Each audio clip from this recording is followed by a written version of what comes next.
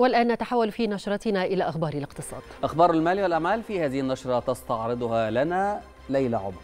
شكرا مصطفى شكرا هبة. وننتقل لمتابعة أهم وآخر الأنباء الاقتصادية في هذه النشرة.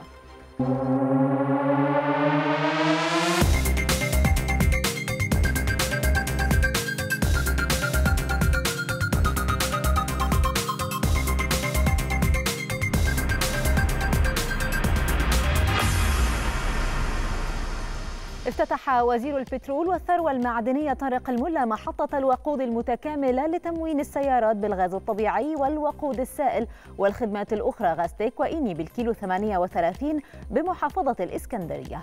وأكد الملا الاستمرار في زيادة منافذ خدمة التموين بالغاز الطبيعي لمواكبة النمو في الاعتماد عليه كوقود ضمن منظومة توفير الوقود بالسوق المحلي حيث تتوافر له العديد من المميزات منها أنه نظيف وصديق للبيئة ومنخفض التكلفة وعالي الأداء.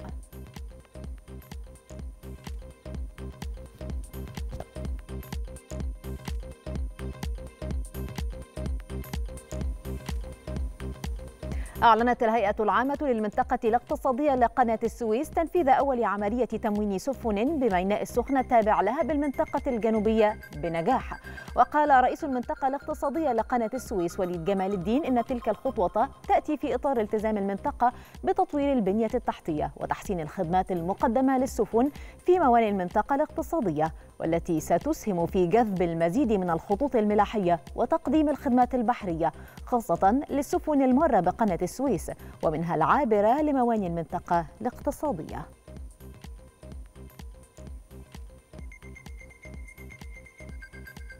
أعلنت وزارة الزراعة الإفراج عن 185 ألف طن من الذرة وفول الصويا بحوالي 100 مليون دولار وذلك خلال الفترة من الثالث والعشرين من يونيو الماضي حتى السادس من يوليو الجاري.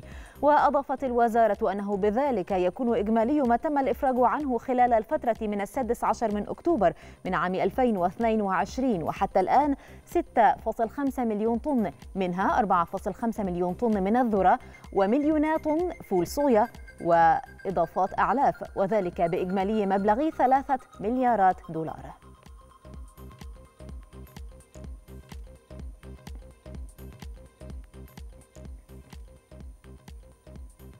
سجلت مؤشرات البورصة المصرية ارتفاعات جماعية لدى إغلاق تعاملات اليوم مدعومة بعمليات الشراء من قبل المؤسسات وصناديق الاستثمار المحلية حيث صعد المؤشر الرئيسي للبورصة بنسبة 2.46 من المئة في المئة.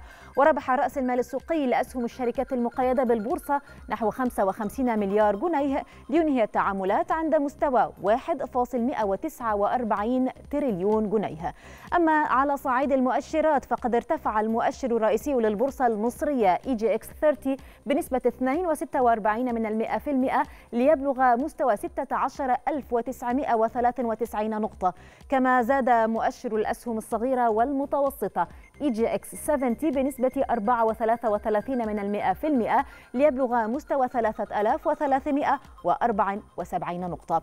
وشملت الارتفاعات مؤشر EGX 100 الأوسع نطاقا والذي أضاف نحو 3.96 من المئة في المئة إلى قيمته ليبلغ مستوى 5009 نقاط.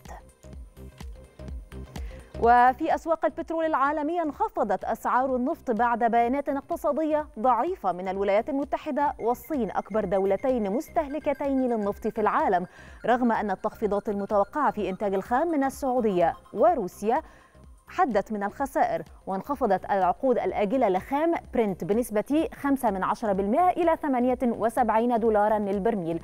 وتراجعت العقود الآجلة لخام غرب تكساس الوسيط 5 من 10% أيضا إلى 73 دولارا للبرميل.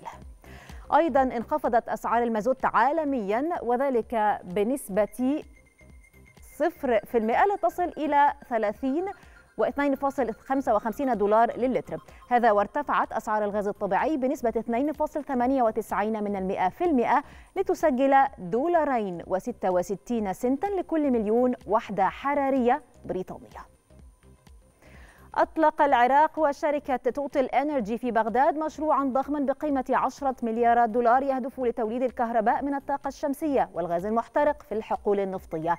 وبعد مفاوضات طويلة وخلافات حادة رافقت المشروع الذي جرى الكشف عنه في عام 2021 وقع الرئيس التنفيذي لتوتال إنرجي باتريك بوياني وزير النفط العراقي حيان عبد الغني الاتفاقات المتعلقة بالمشروع. وقال وزير النفط العراقي إن بلاده ستتعاون بشكل جاد ومثمر من أجل مباشرة تنفيذ هذه العقود على أرض الواقع.